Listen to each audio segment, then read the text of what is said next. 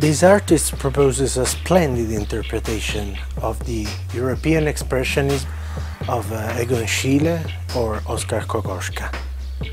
The focus is all on the deep meaning of human personality, as it was emerging from Freud's studies and discoveries. Here we move to an iconic abstractism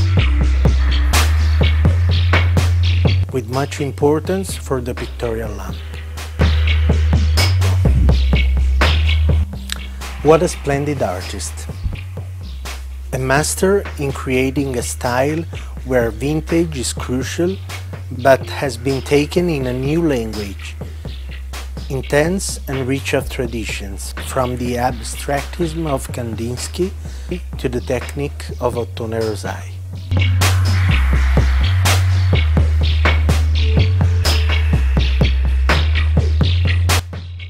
Intense brush strokes concentrated in few but crucial details, bringing meaning to the entire painting. Colored shadows belonging to Impressionist tradition are here renewed with color dripping and a background not far from video art.